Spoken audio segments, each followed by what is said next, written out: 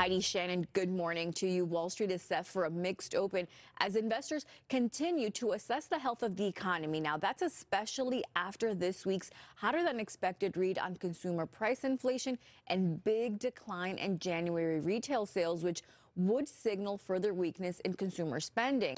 The Federal Trade Commission is proposing a rule to ban the use of AI tools to impersonate individuals through deepfakes. Apple is reportedly ramping up development of new generative AI features for its Xcode programming software that are similar to Microsoft's GitHub Copilot. Honey, Heidi, Shannon, back to you. All right, that's what it's all about.